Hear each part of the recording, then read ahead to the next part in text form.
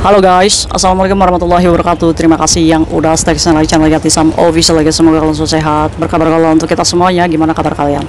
Semoga sehat selalu dalam lindungan Allah ya guys ya. Hari ini kayak Yatisam itu lagi berteduh di tempat permainan ya guys ya. Di mana hujan di luar kayak Yatisam itu mencari tempat untuk bisa ngobrol sama kalian ya guys ya.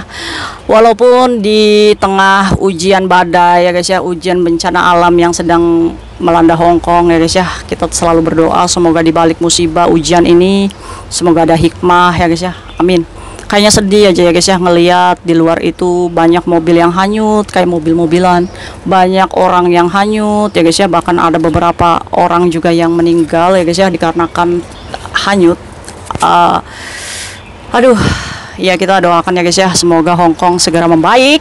Karena ini juga sedikit banyaknya berdampak kepada kita pekerja migran. Kalau majikan ini kan sedang mengalami krisis ya guys ya ekonomi di mana dia juga pasti akan apalagi yang mobilnya tenggelam-tenggelam yang kelihatan atapnya itu ya guys ya dia juga harus reparasi ya walaupun itu ada asuransinya.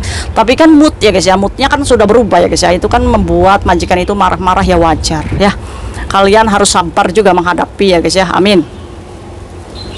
Buat teman kita yang masih sakit juga Allah sehatkan. Teman kita yang mungkin meninggal dunia hari ini juga semoga Allah ampuni segala dosa dan hilafnya ya guys ya keluarga kita yang meninggal hari ini mungkin ibu-ibu uh, teman kita pekerja migran yang meninggal. Semoga juga Allah ampuni ya guys ya segala kesalahannya. Amin. Tetap kuat tabah kalian ada di sini ya guys ya. Tetap semangat. Buat kalian yang masih kesulitan di rumah majikan semoga Allah mudahkan. Teman kita yang lagi bahagia jangan lupa bersyukur. Oke hujan. Semoga rezeki kita ngalir kayak air ini amin. Ya robbal alamin. Kalian minta hajat apa guys? Saya berdoa. Di mana tiga doa yang terkabul salah satunya adalah turun hujan. Ingat-ingat tuh kalau hujan kalian itu nggak boleh ngelamun ya guys ya. Nggak boleh ingat pacar aduh kayak disam saya habis putus kayak disam ya jangan ya guys ya. Harus besar hatinya ya kan? Ya Allah saya lunas utang ya Allah saya mau minta beli mobil. Amin ya robbal alamin. Ayal aja kayak disam loh lah kita ini manusia itu harus punya mimpi ya guys ya. Bermimpi dulu ya kan? Kita sedang melakukan ikhtiar ya kan? Bekerja ini kan lagi ikhtiar ya guys ya dan doa. Wis manusia itu kayak gitu guys tugasnya ya kan? Iya. Wis kayak Sam jangan ngoceh aja cepet. Kayak sama bahas apa? Oke hari ini kayak Sam itu agak sedih ya guys ya. Tapi alhamdulillah kehibur juga ya guys ya. Ada aja ini ya gara-gara musibah ini ada aja foto yang bikin ngakak ya guys ya. Ada yang lagi banjir dia lagi pacaran di atas mobil ya guys ya. Ada yang pembatas jalan itu dibikin perahu ya guys ya. Aduh. Ada juga yang apa namanya ada cewek cewek cantik gitu ya guys ya. Mobilnya kejebak diangkat sama pemadam kebakaran. Ini kan bisa menghibur hati ya guys ya. Di balik musibah ada rezeki hari ini guys itu bahas yang sedih nih guys ya. Aduh ini buat pembelajaran kita ya guys ya. Kadang kita bekerja di majikan pertama itu tahunan ya guys ya. Tapi kita memilih untuk move atau pindah majikan ya guys ya. Ya memang sih meninggalkan keluarga yang udah lama kita tinggali itu kan kayaknya sedih ya guys ya. Ya tapi ya mau gimana lagi? Kadang kita manusia itu kan ada sisi bosan jenuh ya guys ya pekerja migran ini kita sebut aja Mbak Sri. Mbak Sri ini bekerja 18 tahun dan sudah finish. Alhamdulillah Mbak Sri ini tunggu visa di Hong Kong satu bulan di mana dia mendapatkan majikan ini majikan barunya ya guys ya di mana dia kerja di majikan ini. Alhamdulillah. Alhamdulillah majikannya maafan akhirnya Mbak Sri ini masuklah di rumah majikan di mana dia ini bersih bersih rumah. Dan majikannya itu masih muda ya masih maafan lah ya. Banyak ngomong bawel ya itu memang karakter orang Hong Kong. Mbak Sri bekerja 6 bulan di mana dia di terminate atau dia itu di fire atau dia ini dipecat sama majikannya. Nah dipaksa menandatangani surat notice atau surat termination tapi alasannya dikosongkan lagi dan Mbak Sri ini e, minta surat terminationnya nggak dikasih sama majikannya. Jadi dari enam bulan itu memang Mbak Sri ini sering berkonflik dengan majikan. Di mana CCTV itu banyak di rumah ya kan? Wajar karena mungkin majikannya masih belum percaya sama Mbak Sri. Ya Mbak Sri sih ya santai ya guys ya. Ya memang waktu pertama kali dia kerja di rumah majikan itu dia menyadari kalau majikan ini ini ya maafan ya guys ya. Nggak seperti majikannya dulu. Ini nih kadang kita galau ini gagal move on dari majikan lama saat kita diuji dengan majikan yang lebih maafan gitu ya guys ya. Ini kadang kita aduh saya nyesel deh pindah majikan ya kan?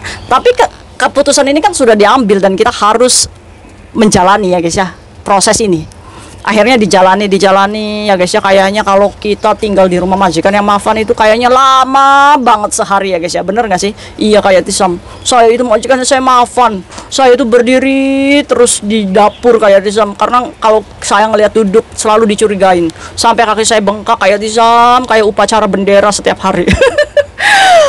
Tetap kuat guys. Semangat. Bismillah ya. La haula amin. Akhirnya Mbak Sri ini saat dia ini nyolok kabel listrik ya guys ya. Dan colokannya itu memang belum netrep banget dan ketahuan sama majikannya. Ini dimarahin. Di video langsung sama majikannya di foto sama majikannya dan ngomel sama Basri. Basri ini kenapa kamu itu nyolok kayak gini? Ini bisa membuat aliran listrik ini kebakaran rumah saya. Di foto cekrek ya kan? Terus dia di dapur ada masalah ya guys ya. Di mana dia ini kerja ya mungkin ketahuan ya guys ya sama majikannya lagi main handphone atau mungkin jamnya makan siang ya guys ya. Tapi kan CCTV itu kan ada ya guys ya. Itu kan bisa di screenshot CCTV bisa difoto ulang sama majikannya ya guys ya.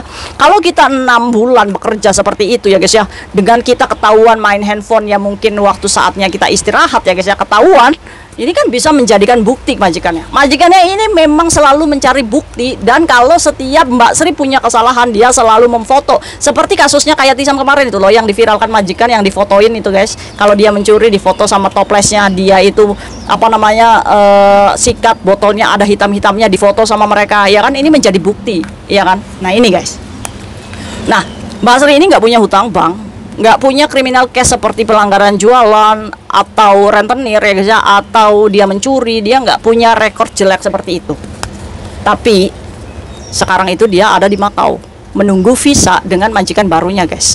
Di mana majikan barunya ini jaga nenek aja. Nah hari ini suratnya tolak. Imigrasi menolak visa Mbak Sri. Mbak Sri kaget kan? Bingung.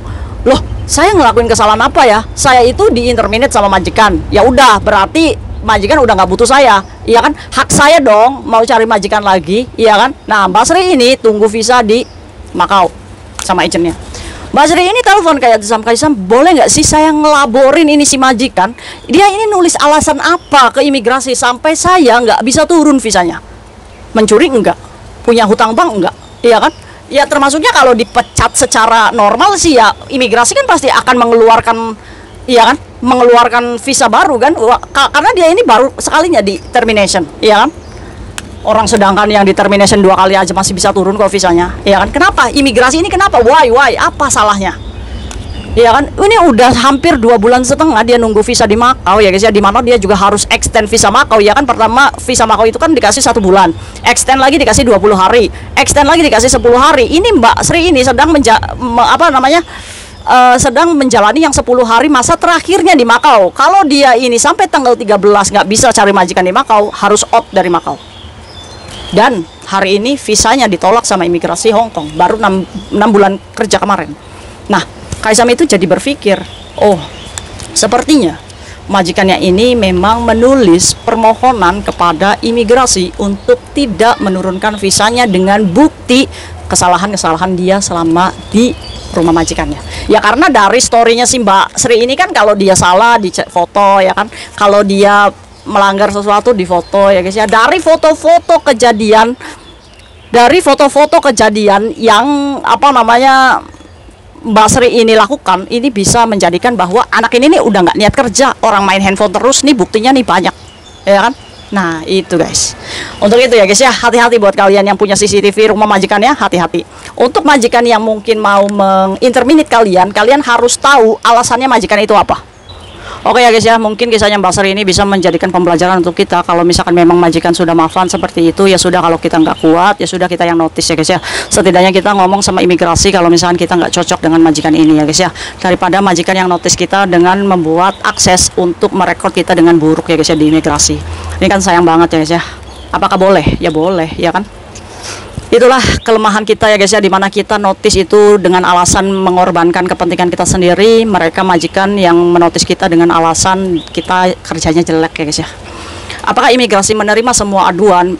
Imigrasi itu menerima semua aduan ya guys ya. Termasuknya kalian kalau kerja tidak sesuai job atau gaji dicicil kalian bisa membuat rekor atau e, menjadikan surat notis ke imigrasi itu merekrutkan kalau misalkan majikan kalian juga gajinya nggak benar gitu ya guys ya. Kerja dua rumah ya guys ya ini bisa kalian juga bisa punya punya akses untuk membuat rekor di imigrasi. Boleh hak kalian. Inilah kita dijebak ya guys ya selangkah lebih maju majikan. Jadi buat kalian hati-hati untuk majikan yang licik seperti ini ya guys ya kita harus bisa mengantisipasinya. Oke buat Mbak Sri kayak Tisam Support. Ini Alhamdulillah Mbak Sri masih menunggu visanya di Makau. Sehingga uh, sampai tanggal 13 ini untuk meleborkan majikan ya Mbak Sri. Ini berniat untuk uh, datang ke Hong Kong untuk laporan atau memblacklist lagi ini si majikan kenapa dia bisa membuat mematikan rezeki saya di Hong Kong. Iya kan? Ini kan majikannya mematikan rezekinya Mbak Sri di Hong Kong ya guys ya. Kalau misalkan memang nggak suka ya udah dipecat-pecat aja sih. Kenapa dia harus apa namanya? Uh, membuat rekor jelek kayak gitu ya kan mencuri aja enggak gitu ya guys ya kalau kerjanya memang nggak becus atau nggak suka ya udah terminit terminit aja gitu majikan ini rugi kayaknya mengambil kita dengan 8000 kalau kita nggak nurut sama dia ya guys ya Oke kita doakan Mbak Sri semoga mendapatkan majikan di Makau ya guys ya. Katanya sekarang lagi sikung. Nanti setelah sikung ini tanda tangan amin. Nanti kalau visa kerjanya di Makau ini sudah turun Mbak Sri bisa datang ke Hong Kong ya kan Sebagai turis. Nanti bisa laporan uh, Melaporkan si majikan ini ke labor ya guys ya. Boleh? Boleh? Uh, menuntut apa menuntut majikannya kenapa dia membuat uh, perkara yang enggak enggak tapi sekali lagi keputusan imigrasi sudah final di mana Mbak Sri visanya ditolak. Itu artinya Mbak Sri tidak bisa masuk ke Hong Kong untuk bekerja. 18 ah, tahun ya guys ya kita bekerja baik-baik di sini hanya karena kerja 6 bulan nggak cocok dengan majikan majikan mengada-ada dengan semua bukti kita kalah. Belajar dari kasus yang Basri ya guys ya semoga kita selalu diselamatkan amin dan beruntung. Pro see you next video guys bye bye assalamualaikum warahmatullahi wabarakatuh. Kayau